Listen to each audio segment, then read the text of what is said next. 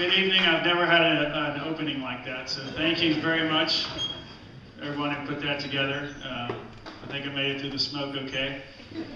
Um, but thanks for having me. It's great to be here. Um, just landed about four hours ago at Heathrow, and uh, here I am. So thanks for having me, and thanks for the school and Dr. Parker for arranging the visit. It's great to be here and see kind of um, what's going on, the great things in the physics world and the math world that are going on over here at Simon Langton.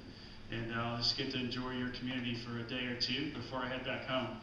Um, and thanks for all the parents who are out tonight. It's great to see you. Hopefully, uh, hopefully everyone in the room, young or old, will learn something before you leave tonight. That's my goal, is that you'll learn something about uh, hopefully the space program and maybe about a, you know, what really goes on on a mission um, that you can take back and share a little uh, fun fact or tidbit with either people you work with or somebody um, that you know or family and friends. Um, so what I'm going to do tonight is I'm just going to take maybe about 15, 20 minutes and take you through the mission that I they had the privilege of going on, the space shuttle mission a couple years ago, and uh, it's quite a quite a thrill, obviously. And what, what I did is uh, kind of whittled down about two weeks and about 15 minutes of video. So it's just a highlight video, but I think it really shows you kind of the, the whole mission just really quickly. Um, and I'll try to narrate it the whole time and, and let you know, you know, what it feels like, what's going on, and, and hopefully that'll spark some questions um, from all of you. And then after the, the video is done, I'll, I'll take a bunch of questions. Right, well, thank you so much for having me. I hope, did everybody learn something maybe tonight? All right. It was, it was a successful night. Thank you.